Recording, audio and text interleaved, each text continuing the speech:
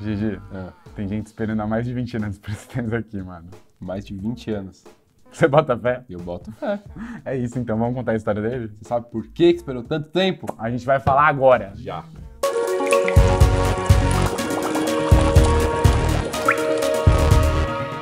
Fala pessoal, sejam muito bem-vindos ao canal de Sneakers BR aqui no YouTube. Para você que ainda não nos conhece, muito prazer. Eu sou o Gerson. Eu sou o Felipe. E nós vamos falar aqui de um tênis que desde 2004, graças à parceria entre Nike e Sanrio, deixaram os amantes de tênis muito alvoroçados, né? Sim. Porque o Nike Air Presto, naquela época, com estampas da gatinha mais, talvez a gatinha mais conhecida, mais querida no planeta. Famosa. A gatinha Mais sem boca. A gatinha A sem gatinha boca. sem boca. Mais famosa do planeta, a tal da Hello Kitty, que faz sucesso sozinha e também na sua turma toda Sim, aqui. a turminha da Hello Kitty. Eles apresentaram alguns pressos ali, a galera que só vê que tinha a estampa da Hello Kitty pelo cabedal.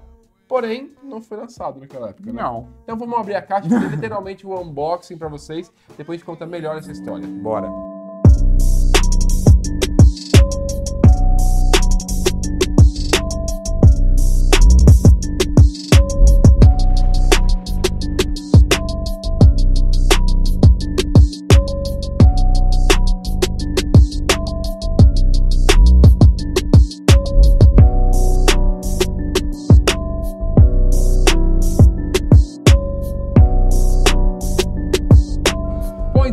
Finalmente temos aqui o Nike Air Presto da Hello Kitty feito e nas nossas mãos. Maravilhoso, né? Maravilhoso, lindo, não tem nem o que falar. Não, tem bastante o que falar na real, Ah, né? não, tem bastante É. o que falar agora.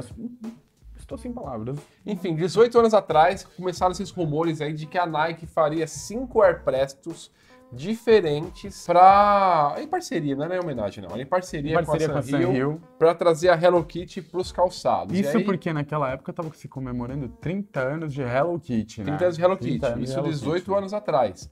Então, ah, vai ter versão comemorativa e tal, e enfim, nunca rolou de fato essa versão, vamos dizer, comercial, né? Por quê? Uhum. Porque alguns pares de fato foram produzidos. Então, Sim. tínhamos imagens de alguns dos pares, mas sempre ficava nesse rumor de, ah, lança ano que vem, talvez depois, talvez agora, talvez não sei o quê, e, e não lançava de fato. Uhum. Mas a gente foi, com o passar do tempo, vendo com mais detalhes cada um desses cinco pares. Foram aparecendo fotos deles? cinco Gigi? pares não, né? Cinco modelos, cinco versões, né? Cinco colories. Cinco colorways, é. E foram aparecendo fotos. Acho que um dos lugares que a gente mais via essas fotos era no Instagram, arroba Prestology, que é um cara que fala que o Presto é o tênis preferido de todos os tempos dele. E é um...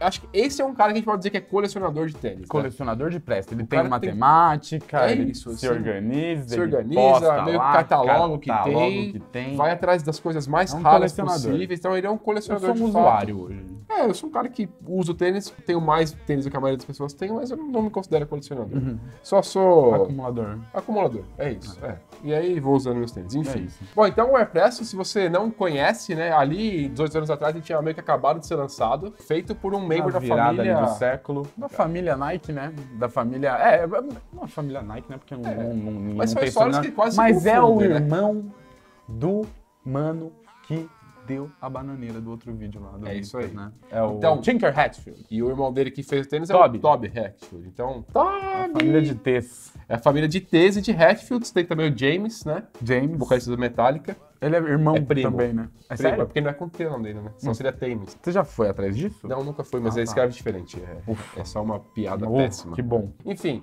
E aí o Presto tinha no seu lançamento essa ideia de vestir os seus pés. Tanto que a numeração dele. Esse daqui ele veio com a numeração Normal, como? normal. padrão. Normal? É. Teve até um relançamento, tipo, uns anos atrás, dois anos Uhum. atrás, três anos atrás, se não me engano, tipo, uma data importante de Presto, não lembro qual. Mas rolou vários relançamentos e eles voltaram a fazer a numeração do Presto como ela era antigamente, que é por tamanho, tipo, camiseta. Uhum. Você veste, sei lá, L, ou XL, ou M, ou Small. É. Muito é isso da aí. Até quando os primeiros Dr. Nin, eles eram ainda no tamanho de Uhum. igual peças de roupa, de vestuário e não de calçados, né? E depois a Nike acabou facilitando, esse aqui no caso é o número de calçado. Enfim, tinha essa construção. Pode falar. Ele tem uma grade completa? Ou ele é tipo 8,5, 10? É, era tipo isso. Ah, Tipo, tá. O intervalo era o S, Beleza. o M e tal. A construção do Presto, ela geralmente vinha com um neoprene e um spacer mesh, Uhum. que eles chamavam, né?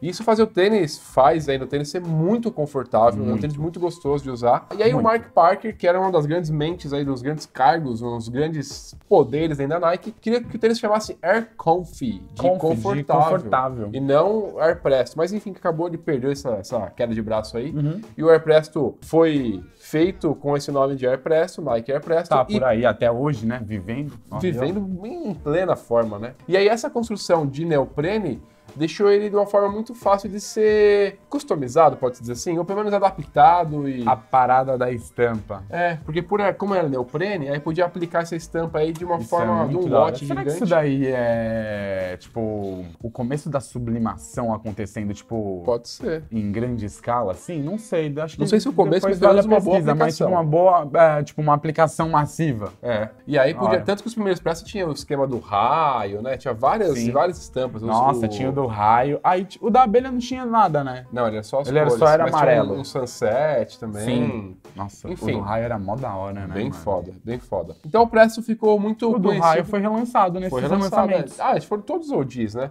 Que tiver até Todos uns desenhinhos e tal. Sim. Enfim, A gente falou sobre isso aqui. Falou. Nossa, e foi quando teve os Presto React. pode crer, pode crer. Debandeamos vídeo. aqui, hein? Então volta ali que você vai achar nesse vídeo aí. Mas vai atrás. Enfim, essa é um pouquinho da história do Nike Air Press, então vamos falar agora sobre Uhum. essa colaboração aí com a Hello Kitty. A ideia, os rumores apontavam que dentro das cinco cores, mais ou menos 500 unidades seriam comercializadas. Mas de fato foi mais ou menos 12, Uhum. que pouquíssimas pessoas com... Será que produziram só 12 pares, mano?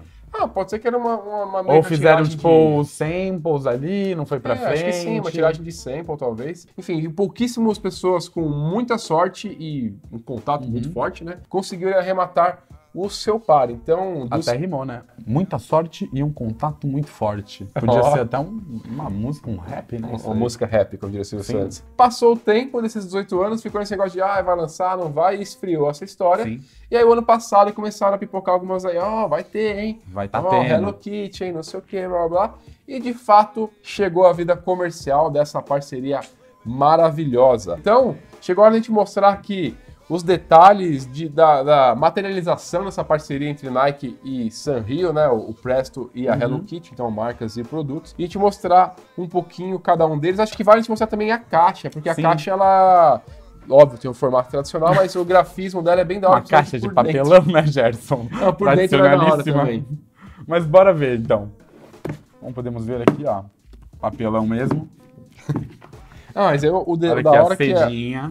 E aí o sushi com o lacinho da Hello Kitty, né? Isso. Isso. Ah, nossa. Eu peguei a seda do lado ao contrário. Ó. A seda, ela tem essa estampinha aqui, ó. E olha que bonitinho aqui, ó. A gatinha sem boca, escondidinha no cantinho da caixa. Aqui desse lado não tem nada. Mas é uma caixa que tem essa, ca- essa cara lacinho. cartoonizada, né? Tinha até uma época, uns anos atrás, que tava na moda a galera Hello pegar os tênis e contornar com uma caneta preta os painéis, Mas né? teve um artista, né, que começou a fazer isso. É, e aí e, aí, virou a- febre. e aí virou febre. Tipo, deu uma viralizada, né, nesse negócio. E tinha um Dunk Muito também que forte parecia... estragado, hein? Muito Air Force estragado, mas tinha um Dunk que nasceu assim, você lembra? Lembra? Os cores era Mondrian? Uhum. Não, o Mondrian, ele tem aquele, aquela parada por conta dos quadros, né, do Pierre Mondrian. Aham. Mas aí é outro assunto. É outro assunto, Vamos falar de cubismo aqui agora, né? Vamos falar do Nike com a Hello Kitty. E aí, a Nike, quando começou aí em 2021, surgirem os rumores, não se manifestou oficialmente por um bom tempo. Os rumores começaram a ganhar força, ganhar força. Vai ter o Nike Hello Kitty novo, vai ter não só adulto, vai ter a grade estendida para a família inteira e vai ter peças de roupa. E aí o tempo passou, as coisas deram uma esfriada, até que voltaram os rumores já com bastante força e de fato com imagens oficiais das coisas aparecendo. Então, esse preço aqui é o modelo adulto e tem mais outras duas opções que são as grades Pô, e tem menorzinhas. vestuário, né? Eu- as peças de vestuário vieram? Vieram Por também. favor, dona Nike, manda lá pra minha calça uma calça de moletom Hello Kitty. É, eu tive que comprar, né? Comprei o tênis e comprei o moletom, né? Qual?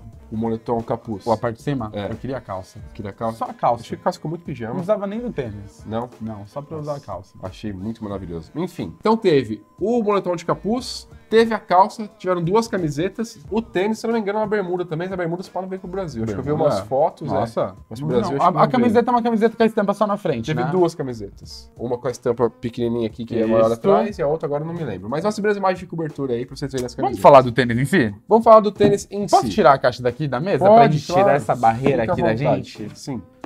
Licença, eu tenho uma surpresinha aqui embaixo, hein? Bom, pode começar por ela, então. Já vamos? Vamos, já Nossa, começa começando. Olha só que coisa bonitinha, meu povo. Olha isso, que coisa mais fofinha. Olha, um completa o outro. Dá pra ver o arruio? Uhum.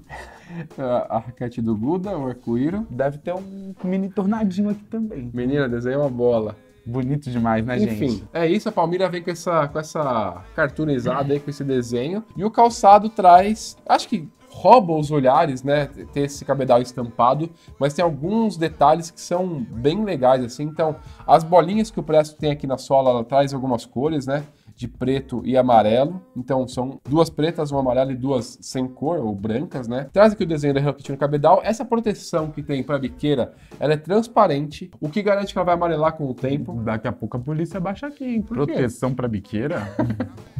a proteção, o escudo para biqueira. Enfim, assim como o Sock Dart, que vinha aquele, aquele fecho plástico transparente, rapidamente ele amarelava. Isso aqui vai amarelar com o tempo e vai ficar mais legal, Sim. na minha opinião. Eu acho da hora. Tem esse laço aqui bem legal colocado por cima, que foi o que, o que me fez querer o blusão. Porque o blusão no capuz vem com Tem esse lacinho em cima, é bem foda.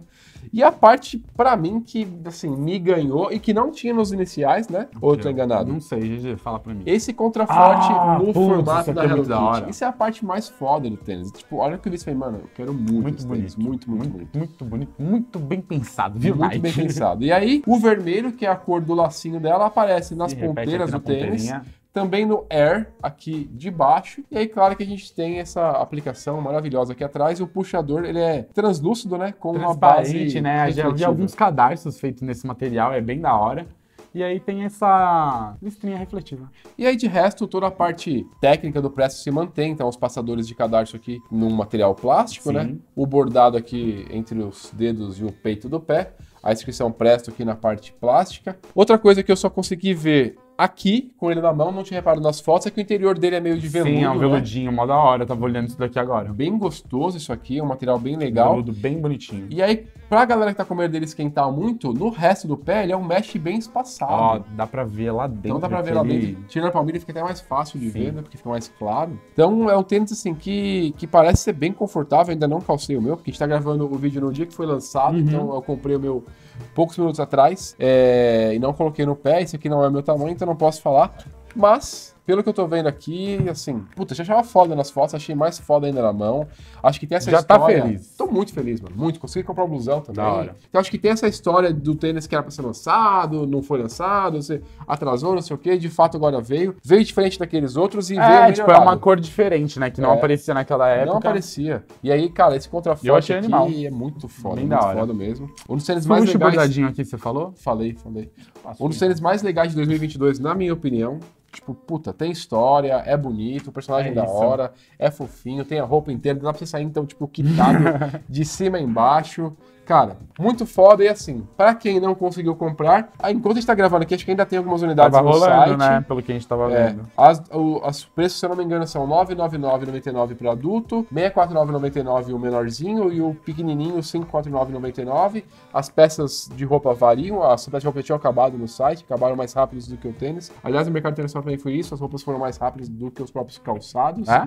É. Enfim, é isso, gente. Você que tá assistindo o vídeo agora e se interessou, tomara que ainda consiga, porque além do site da Nike, também algumas lojas aqui de São Paulo receberam, então Uhum. procura nos Instagrams das lojas aí que vocês vão ver se Bonitinho. conseguiram. Maravilhoso, muito maravilhoso mesmo. Vale. Ó, mil reais é foda, né? Ah, Falar que putz, vale é mano, foda. é, né? ó, eu- então, eu tô em crise esses dias com esses bagulho de tênis. Por quê? Porque é tênis de mil reais, mano. É foda, né? Tipo, eu tava pensando. Se. Depois eu troco essa ideia com você. Falou, galera. Então, é isso. Siga Stickers BR nas redes sociais. Também assinaram o nosso canal se ainda não assinaram, ativaram as notificações se ainda não ativaram e curtir o vídeo se ainda não curtiram. Se já fizeram isso aí, tudo certo. É isso. Beijo pra Muito todos obrigado. e tchau. Valeu.